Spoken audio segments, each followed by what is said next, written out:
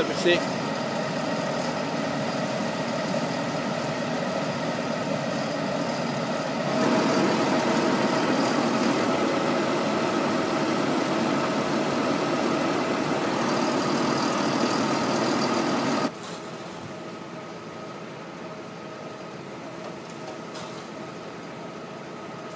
for it again, Matt.